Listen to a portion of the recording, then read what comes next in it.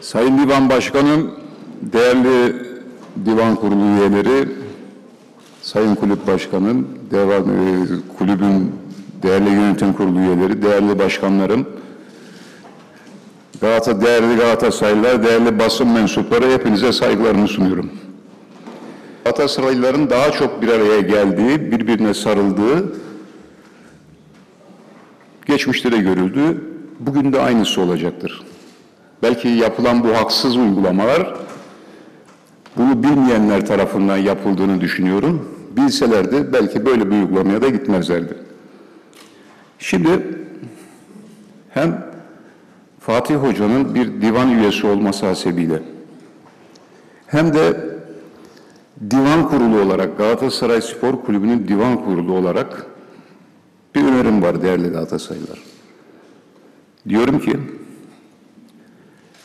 Galatasaray Divanı olarak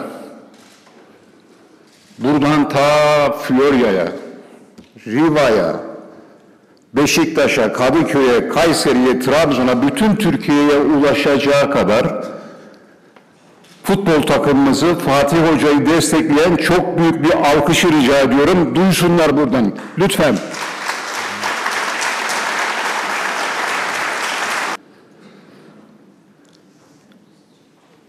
Önemli konulardan bir tanesi, demin de ifade ettim, Galatasaray'ın mali bağımsızlığına inanarak yaptığımız Riva ve Florya projesi. Değerli arkadaşlar, Riva ve Florya projesi bugün zordadır. Bugün istenmeyen bir şekilde, istenmeyen bir tarzda neden olduğunu bilmediğimiz, belki Sayın Yönetim açıklamasını getirecektir. Çıkmazın eşiğindedir. Ya başkan sen bunu nereden biliyorsun? Yani ne, ilgili misin? Evet takip ediyorum. Ama görüyorum. Neyi görüyorum? Emlak konutla sözleşmeyi yapan kişiyiz. Arkadaşlarımla beraber. Onu sizin önünüze getiren, onu savunan, onun olmasını isteyen kişiyim. Dolayısıyla bu projenin ruhunu, sözleşmenin ruhunu en iyi bilen kişilerden birisiyim.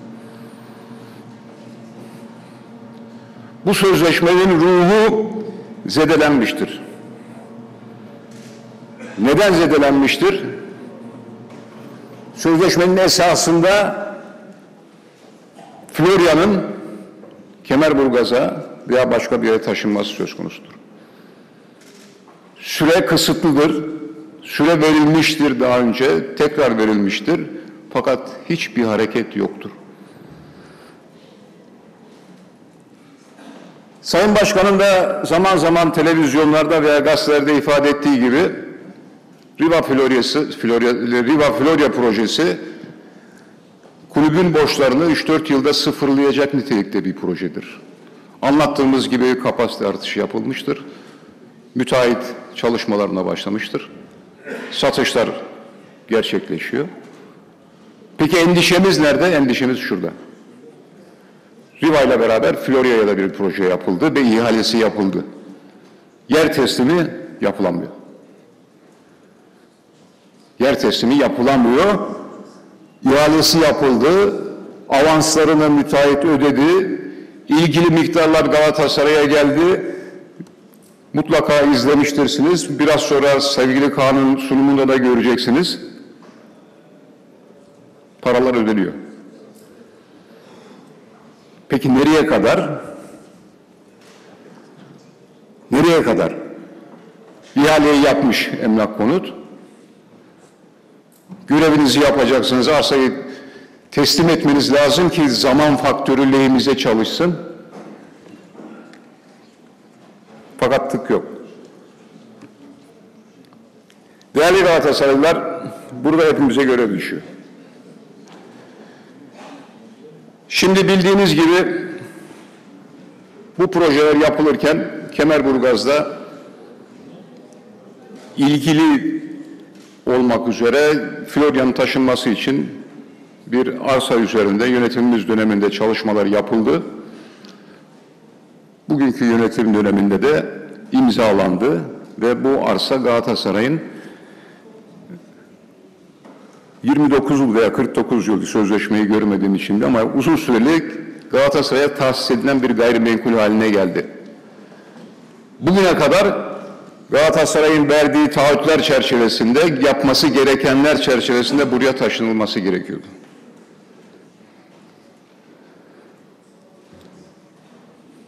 Çeşitli sebeplerle zaman zaman ifade edildi. Ya burada mandıra var, burada işte at gibi köpekler var. Paramız yok, maliyeti bilmem ne kadar. Bir maden ruhsatı var. Şimdi değerli Galatasaraylılar, bunların hepsine tek tek cevaplamak mümkün. Paramız yok, geçerli değil. Paramız yok, anlaşılır değil. Neden değil? Galatasaray için değil. Galatasaray bütün projelerini parayla mı yapmıştır? Ben sayın yönetime tavsiye ediyorum. Florya'ya gitsinler bir gezsinler. Florya'nın bir tarafında Sayın Polat'ın yaptığı konaklama tesisi var. Öteki tarafta GİSİAD'ın yaptığı tesis var. Bir tarafta Özkan abinin gönderdiği konteynerler var. Aramızda orada harç karıştıranlar var, tuğla taşıyanlar var. Biz niye her zaman 25 milyonuz, bu kadar taraftarımız var, biz böyle büyük bir camiayız diye övünüyoruz da rakiplerimizin bugüne kadar üç sefer, dört sefer daha büyük tesisleri yapma imkanları var da Galatasaray'ın niye yok? Burada değerli Galatasaraylılar azim önemli. Burada niyet önemli. Niye böyle söylüyorum? Şunu hiç aklımdan geçirmiyorum. Bazı arkadaşlarım bana şöyle ifadelerde bulunuyorlar. Ya Sayın Başkan, bu senin ve yönetimindeki arkadaşlarının getirdiği bir proje. Dolayısıyla bugünkü yönetim ya bir şey olursa, bir aksilik olursa bu işte Dursun Özbek yönetiminin projesiydi. Bize ne derler diyorlar. Ben katiyetle böyle bir şey düşünmüyorum. Bugünkü yönetimin böyle bir şeye tenezzül edeceğini, böyle bir ifade kullanacağını hiç tahmin etmiyorum.